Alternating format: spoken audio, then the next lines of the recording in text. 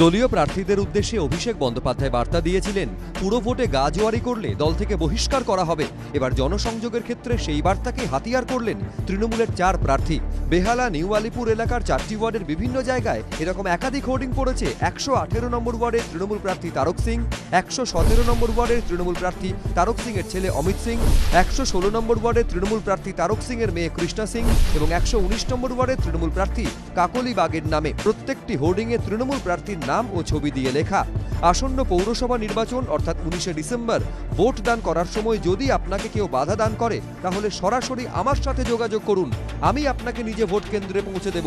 এরপর প্রার্থীর নিজের এবং বেহালা ও নিউ আলিপুর থানার ওসির ফোন নাম্বারও দেওয়া হয়েছে হোর্ডিংয়ে।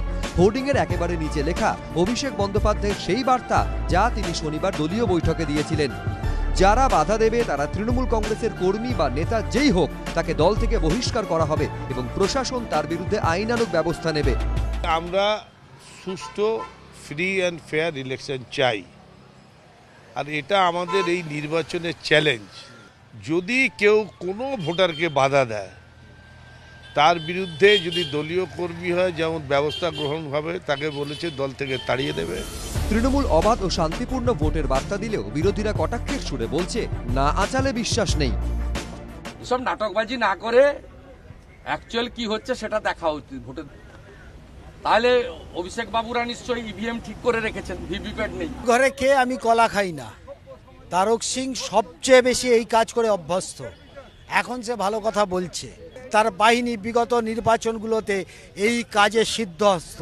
আজকে তারক সিংকে তাই বলতে হচ্ছে কালো হাত ধুয়ে ফেলার জন্য। বঙ্গ ভোটের অঙ্গ হয়ে দাঁড়িয়েছে সন্ত্রাস। শেষমেশ কি কলকাতা পুরো ভোট অবাধ ও শান্তিপূর্ণ হবে? বোঝা যাবে উনিশে ডিসেম্বর। অর্ণব মুখোপাধ্যায় দীপক ঘোষ উজ্জ্বল মুখোপাধ্যায় এবিপি আনন্দ। সত্য অন্তহীন।